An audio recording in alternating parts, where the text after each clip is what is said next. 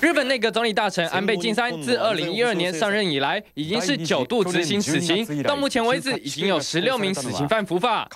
在最近一次伏法的两名死刑犯，一名是在大阪杀害了四名女性，还有一名九岁女童的连田安利，在二零零五年确认死刑定验；另一名则是为了诈领保险金，伙同三名友人杀害其中两名友人丈夫的吉田纯子，两人都在三月十五号伏法。另外，发生在二零零八年的秋叶原杀人事件，当时造成七死十伤，是日本三十年来死者最多的随机杀人案。犯人加藤之大经过三审定验，确定为死刑犯，目前还没有执行。而在日本，受刑人在受刑前数小时才会被通知，对死刑犯而言相当煎熬。